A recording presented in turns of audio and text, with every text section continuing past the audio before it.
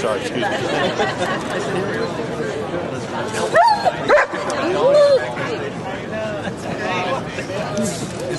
Can you move in a little closer, just uh, please? Thank you. Just interact with them again, but I'm going to sit up here. yeah. you-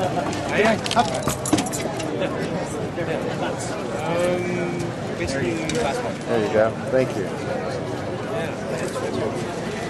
The benefits of having a canine. Dark slacks. Dark slacks.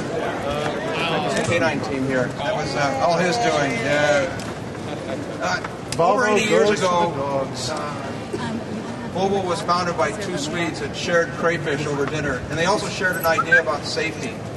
And they believed that if they were going to make a car company, they should, and people were going to drive cars, that the car should be safe, and that everything we do must be about safety.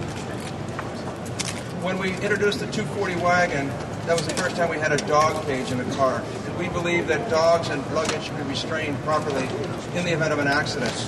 And today we've got Christine Selter here, who's with Bark Buckle Up, and she's going to present a different point of view and a, and a twist on that whole idea.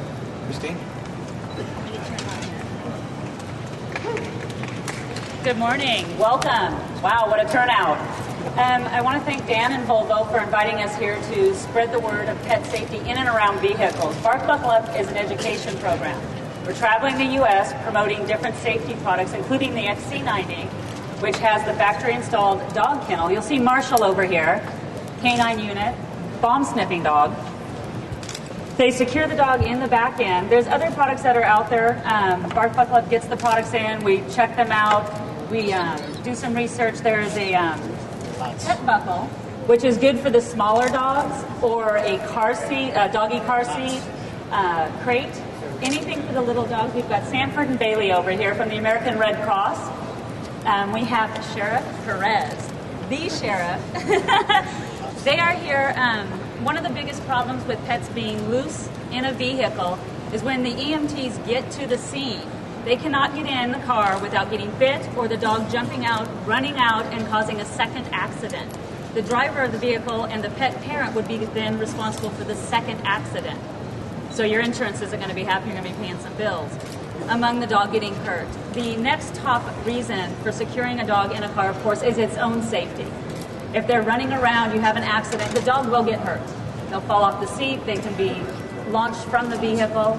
They can also hit the driver or your passengers. And a 60 pound dog hitting a, a small child is going to cause quite a bit of damage. Um, the other reasons, of course, are driver distraction. I don't know about Chicago, but um, in California, where I'm from, the ticket that you can receive is for driver distraction. You see on TV all the time the movie stars running around with the dogs on their laps. Not a good idea. The airbag will kill that animal. So what we do is we're going out. You guys all have a press kit over there. It has one of the Kurgo pet buckles in there. If you don't have a dog or cat of your own, please pass it along to a friend or family member that does and encourage them to buckle up. You want to, you know, be smart, ride safe, keep the dog secure, keep our keep our fire and our police, our EMTs safe from bites, um, safe from your dog running out or somebody else's dog running out and causing another accident. And then, would you like to say something? Go, Stan. just like to uh, thank you for the opportunity to showcase Marshall and uh, Matthew Goncher, and also Nick Wolf is here, one of our other canine handlers. Uh, he's got a dog Nando that is maybe not quite as crowd friendly, so he stayed home today.